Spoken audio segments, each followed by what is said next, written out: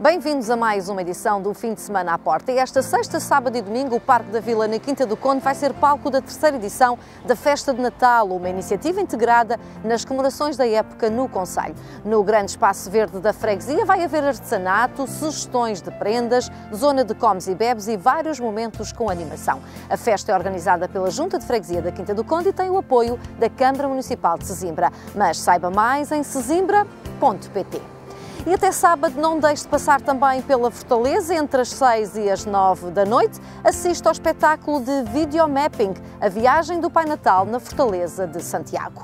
Já à noite, a partir das 9h30, vai decorrer no Cine Teatro Municipal o Festival Termómetro, uma iniciativa gratuita para maiores de 12 anos. Os bilhetes são disponibilizados no dia do concerto, a partir das 4 da tarde, e as entradas estão sujeitas à lotação da sala.